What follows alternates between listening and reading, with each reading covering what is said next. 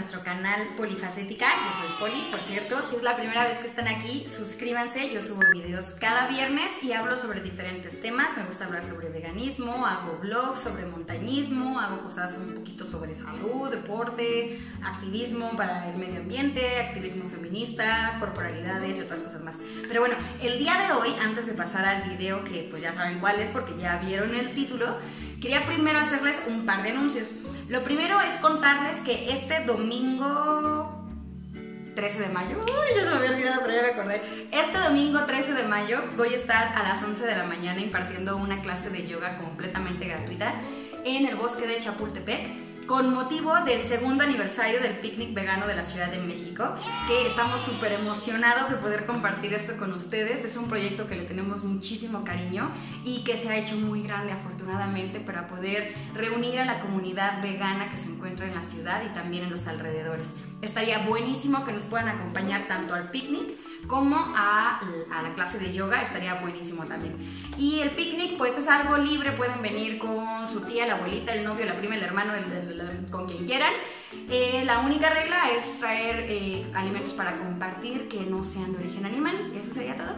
Y pues tener mucha buena vibra y muy buena actitud. Y el segundo anuncio que quería hacerles es eh, bueno, contarles un poquito que en estas últimas semanas he estado muy al pendiente de la problemática que existe respecto a la venta de animales exóticos y animales silvestres. De hecho, si ustedes me siguen en Facebook, seguro ya se enteraron porque se hizo todo un super escándalo porque de repente ya tenía yo pues muchísima gente eh, estoqueándome, siguiéndome en diferentes redes para comentar, pues la verdad es que más que nada puras mentiras y puras injurias, etcétera, pero todo se me resbala como para teflón. Pero el punto es que quiero contarles un poquito de esto porque estamos realizando una petición, estamos reunidos en ocho organizaciones diferentes, organizaciones antiespecistas. De hecho, si vieron el video de la semana pasada, pues ya se enteraron un poquitín. Si no, por acá se los dejo o por acá, no sé por dónde, para que vayan y lo vean y se enteren un poquitín de cómo está la cosa. Y les dejo el link a una petición que lo que estamos solicitando es a diferentes entidades y autoridades gubernamentales que hagan una revisión de estos eventos que se están realizando de venta de animales, pero también que se prohíba la venta de animales exóticos y la venta de animales salvajes con motivo de mascotismo. Y esto rápidamente lo explico, no tenemos nada en contra de las sumas ni de diferentes proyectos de conservación. Por el contrario, o sea, lo que queremos es justamente que exista una buena conservación de las especies y un trato ético para los animales. Más bien, lo que queremos es prohibir específicamente todos estos proyectos que en realidad son de lucro con los cuales se está eh, pues ganando dinero a partir de los animales y que se les tienen en pésimas condiciones. Y para que tengan una idea de esto, les voy a dejar un clipcito para que lo chequen y pues tengan más eh, criterios al respecto.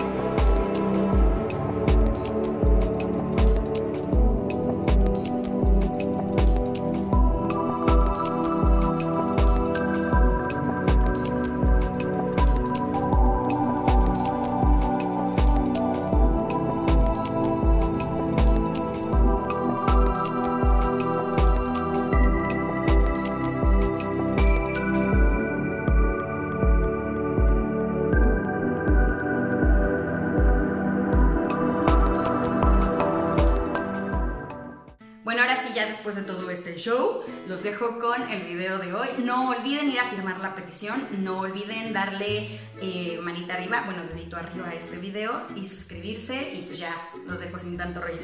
¡Chao!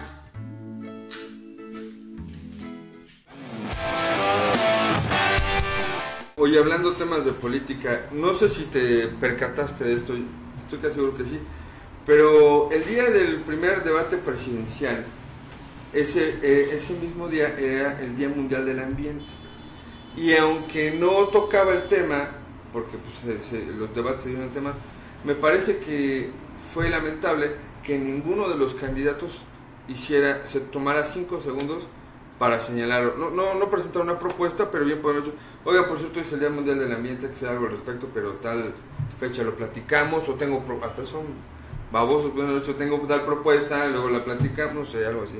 Pero no, se la pasaron por con el triunfo, y ayer, que nos acompañó en el reporte nocturno el candidato al Senado por el Partido Verde, eh, una persona dice, no, estamos hablando del tema de la energía y demás, y dice un una persona de la audiencia, pero ¿por qué no hablan de los temas que son trascendentales? ¿No? Y digo, a ver, a ver, a ver, ya saben, si no hay planeta no hay nada, ¿no? Así es. Así es, hay algo más trascendental, digo, es algo que tiene que ver con nuestra existencia, punto. Claro, y que tiene mucho que ver con el manejo que se hace también de la información, no solo en redes, sino en todos los medios de comunicación, porque se nos ha hecho creer que no estamos al borde, ¿no? que, que todavía nos quedan unos años, que todavía podemos, usted siga comprándose su café de Starbucks, no, no va a pasar nada.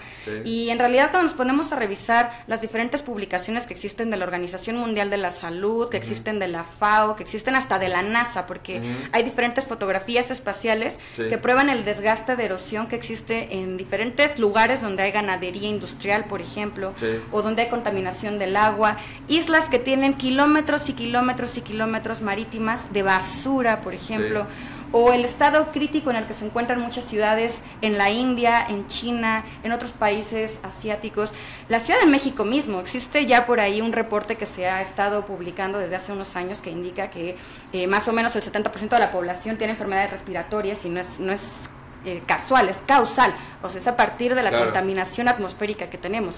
Y bueno, otra cosa que eh, yo siempre menciono cada vez que vengo contigo, pero bueno, es que hay que decirlo, ¿no? la primera causa de que exista eh, gases de efecto invernadero es la industria ganadera. O sea, no es la industria automotriz, no, es la contaminación que si por la industria de cualquier otro tipo, las fábricas, el humo, no. O sea, es lo que generan las vacas. Entonces, eh, es un problema fenomenal porque en verdad nos estamos deshaciendo de la capa de ozono y no porque no lo veamos quiere decir que no está ahí. Se calcula que para 2025, que está a la vuelta de la esquina, por ejemplo, eh, va a desaparecer más de la mitad de la biodiversidad que existe en los océanos. Mira, de... yo tengo 43 años, cuando tenía, no sé, 12 años, 10 años, tú podías pasar horas, horas en la intemperie jugando, te pegaba el sol y no pasaba nada Ahora no puedes pasar 15 minutos porque ya el sol te pega fuerte, el, si no usas bloqueador solar al rato lo vas a estar lamentando. Y en un lapso de 20 años, 30 años, le hemos dado al planeta una baja sensible importante cuando este planeta tiene miles de años atrás. Lo, estamos metiendo en un cono de devastación brutal y no nos damos cuenta porque no queremos o porque nos vale. En el caso de las vacas, tú lo podrás expresar mejor, pero hagan de cuenta agarramos una especie, dijimos, pues esta, ¡pum! Se, se, se reproduce de manera brutal, eh, se le mata de manera brutal, se le explota de manera brutal. Las gallinas, pónganse usted a pensar en las pobres gallinas, ¿no? De los que les encantan los huevos, y yo puedo ser uno de ellos, tengo que admitirlo. estamos atrapados en este tema cultural de pues así te crearon, y pues ni modo, no, nadie te dijo que estaba mal, ¿no? Pero ya tienes una edad en que dices, oye, pues hay que pensar que sí está mal imagínate que lo tomen a usted, y yo por eso siempre uso ese ejemplo. A ver, vente para acá, siéntate, y te vas a quedar engarrotado ahí todo el día, o todo el resto de tu vida, y a producir huevo. Come y produce huevo, come y produce huevo, y ya, se acabó, ¿no?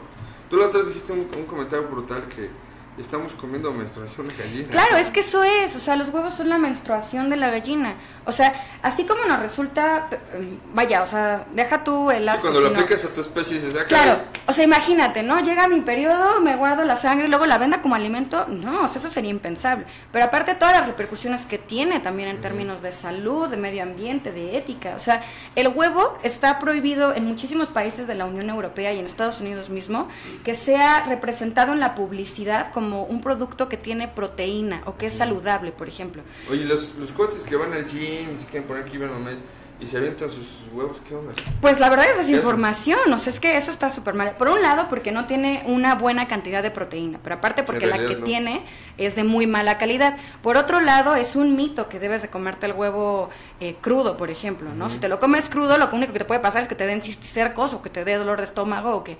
Y mucha gente dice, ay, yo lo he hecho toda la vida, no me ha pasado nada. Por ahora. O quizás tienes gastritis y te preguntas por qué sientes el famoso mal del puerco siempre o por qué el café y el chile te irritan Ahí te hablan, ¿ya ves? Eso no es normal, Kike. no es normal nunca sentir esto. ah, tampoco, bueno. Bienvenido al equipo.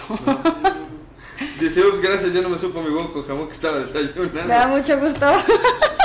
Comer verduritas, frutas, súper rico, unos tlacoyitos de frijol. Sí, sí, sí, vayan a la sierra, van a, no sé, Cochalan, desayunen como la gente desayuna.